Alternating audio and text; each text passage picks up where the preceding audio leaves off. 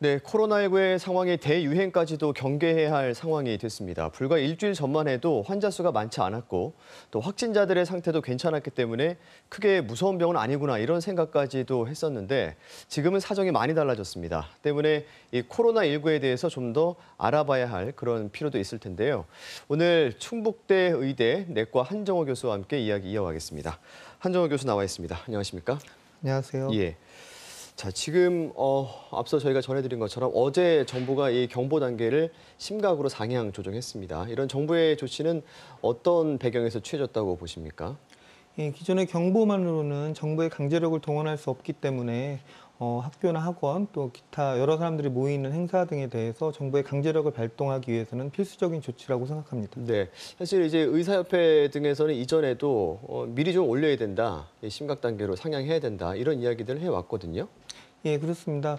어, 감염병의 특징이 한 명의 유증상자, 바이러스 보균자가 다중이용 시설, 지하철 같은 걸 이용하게 되면 뭐 순식간에 뭐 100명, 1000명, 만 명까지 전염되는 것이 이런 바이러스 감염의 특징이기 때문에 예. 어, 선제적으로 어, 위기 단계를 격상할 것을 계속 권고해 왔습니다. 예, 지금 이제 이 상황이 어디까지 이제 확산이 될지 그건 이제 아무도 예측할 수 없는 상황이 되긴 했습니다.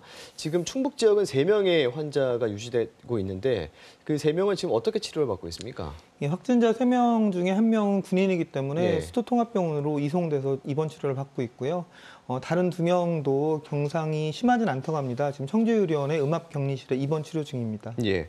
그 이 상황이 지금 아직 조금 섣부른 이제 생각일 수도 있는데 어느 정도 좀 시간이 지나야 좀 안정기에 접어들 수 있다. 확산세가 멈춘다. 이렇게 보십니까? 글쎄요, 당분간은 아주 심한 확산을 예측할 수밖에 없습니다. 예. 왜냐하면 이런 지금 코로나19 바이러스가 잠복기가 1에서 2주 정도를 예측하고 있기 때문에 네. 지금 우리가 보는 환자들은 1에서 2주 전에 감염된 환자들이거든요. 이미 한 보름 전에 그렇죠. 예. 그러면 지금 우리가 보는 환자들, 발견된 환자들이 그 사이에 전염시킨 환자들이 1에서 2주 뒤에 따라가면서 계속 확산이 보- 발견될 것이기 때문에 예. 어, 당분간은 계속 급증할 수밖에 없고 그렇다면 이전에 다른 비슷한 유사 바이러스의 사례를 본다면 최소한 두 달에서 뭐 서너 달 이상 지속되지 않을까 생각합니다. 음, 그럼 최소한 봄까지는 이런 상황이 어느 정도 지속될 수 있다. 이렇게 어, 준비를 좀 해야겠군요. 예, 예. 그렇습니다. 지금 이제 각 지역에서도 환자 발생이 잇따르면서 충북 지역도 확진자가 세 명 발생했고요. 이제 지자체 차원에서도 대응을 하고 있는데 충북 지역 병원들의 상황은 어떻습니까? 예, 지금 뭐 모든 병원들은 지금 응급 체계고요. 예. 어, 호흡기 증상이 있는 환자들 같은 경우는 응급실만이 아니라 개인 병원에 내원하기 전에도 어, 병원 입구에 들어오지 말고 초인종이나 전화를 통해서 어, 병원의 직원과 상담을 하거나 또는 1339 지역 보건소와 통화를 해서 어, 병원에서 진료를 받아도 될지 아니면 예. 보건소로 안내를 할지 그런 체계를 갖추고 있고요. 모두 어, 직원이나 의료진 모두 그다음 환자 보호자 모두 마스크를 쓰고 병원을 입출입하도록 하고 있습니다. 예. 그 지난주에 이제 교수님께서 저희 KBS 뉴스에 출연하셔가지고 이 환자들 병상 운영 문제에 대해서 말씀을 하신 적이 있습니다. 그게 이제 어, 그동안 음압병상 이 소수의 환자만 발생했기 때문에 어느 정도 컨트롤이 되고 관리가 됐는데 지금은 너무나 많은 환자들이 발생하고 있기 때문에 병상수 부족 문제도 지금 나오고 있거든요. 지금 오늘부터 좀 달라진 점이 있죠. 예, 지난주에 KBS의 보도 이후에 충북도에서도 어, 워낙 인지하고 있었겠지만 예. 문제점을 빠르게 반영을 해서 어, 대량으로 발, 발생한 환자를 대비해서 어, 충, 청주 의료원과 충주 의료원에 총 600병상 이상 정도의 병상을 어, 소개를 하고요. 예. 어, 그 병상 자리에 어, 의심 환자 또는 확진자들이 발생하였을 때 음압병실이 아니지만 꼭 음압병실이 치료에 아주 중요한 건 아니거든요. 예. 어, 일상적인 환자들은 입원해서 폐렴 치료를 할 수 있도록 지금 병상을 확보해 나가고 있습니다.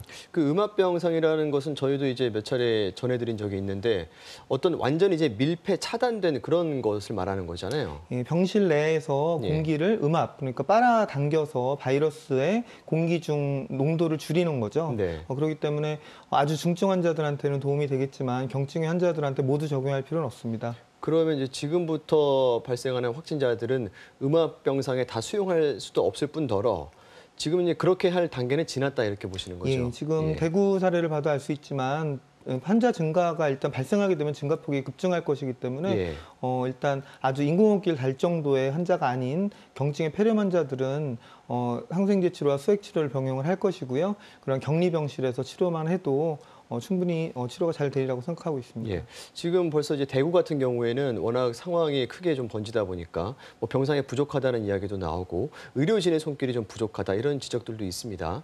충북 지역 같은 경우에는 의료 자원들은 충분히 준비가 되고 있습니까? 예, 다행히 아직 환자가 급증하기 전에 어, 오늘부터 청주의료원과 충주의료원에 그런 자원들을 투입하고 있기 때문에 예. 어, 그, 뭐, 500, 600명 이상의 환자가 늘어나지만 않는다면 충북에서는 대응할 여력이 될 것 같습니다. 음. 그 병원 간의 어떤 역할 분담도 필요하겠죠. 네, 그렇습니다. 예. 어, 경증 환자들은 아까 말씀드린 국민안심병원, 의료원 등의 입원이 필요할 테고요. 인공호흡기나 더 적극적인 필요한 치료가 필요한 환자들은 아무래도 대학병원에서 지- 전문적 치료를 해야 될 겁니다. 그더 중요한 부분은 어, 그 호흡기 환자들이 외래에서 일반 동네 의원에서도 겹 이렇게 혼선이 동선이 겹치게 되면 예. 어, 바이러스 전파가 급증할 수 있고요. 또한 종합병원 응급실에서 심근경색이나 뇌출혈, 중증 교통사고 환자들과 어, 만나게 돼서 응급실이 폐쇄되는 상황이 되면 뭐 청주에 있는 큰 병원 합쳐서 몇 개 되지 않는데 한두 개만 폐쇄돼도 어, 코로나 바이러스에 의한 사망보다 외려 어, 심근경색이나 이런 교통사고 환자를 치료를 못 받아서 사망하는 환자가 급증할 수 있기 때문에 어, 이러한 역할 분담이 아주 중요한 시기입니다. 예. 그 이제 치료 같은 것이 어떻게 이루어지는지도 궁금하고요. 증세가 이제 좀 자가 진단하는 것도 필요할 것 같은데 거기에 대해서도 좀 설명해 주시죠. 어, 많은 언론에 나와서 아시겠지만 일반적인 감기 증상과 똑같습니다. 예. 그런데 이러한 감기 증상 보통 상기도감만 유발하기 때문에 콧물이나 뭐 기침, 기관지염 약한 정도만 유발하는데 이 코로나 바이러스의 특징이 좀 폐렴까지 유발하는 부분입니다. 하지만 심, 심한 환자만 폐렴을 유발하기 때문에 경증 환자들은 대부분의 뭐 콧물이나 기침 치료만 하면 되고요. 근데 폐렴까지 유발하는 환자들은 입원해서 그 바이러스가 우리 폐 세포들을 이 파괴시키게 되면 예. 어, 여기에 우리 정상적인 피부에 있는 박테리아들까지 super infection이 됩니다. 같이 감염되기 때문에 예. 어, 적절한 항박테리아 치료도 병행하게 되고요. 또 더 심한 바이러스가 아주 많이 있는 환자들은 어, 기존에 다른 바이러스 폐렴 때 사용한 항생제도 어, 투여를 해서 치료를 돕고자 합니다. 예. 알겠습니다. 아, 오늘 말씀은 여기까지 나누겠습니다. 충북의사회 정책이사이자 충북대의대 내과 한정호 교수와 이야기 나눴습니다. 고맙습니다.